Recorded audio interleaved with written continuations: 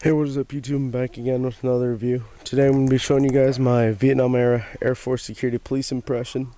Um, starting over here, well, starting with the base, is an XM66 belt with the, they're M56 belts but with the Davis buckles. Um, these were experimental um, and it is unissued size large.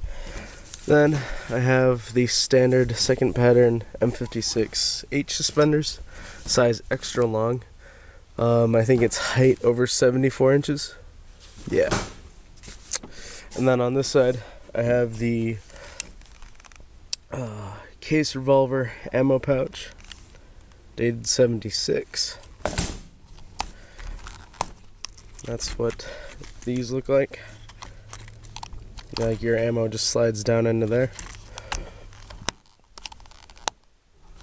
Then the revolver holster for the 38 special on the it uses the uh, M1910 hooks with a swivel and one snap this one is dated 1965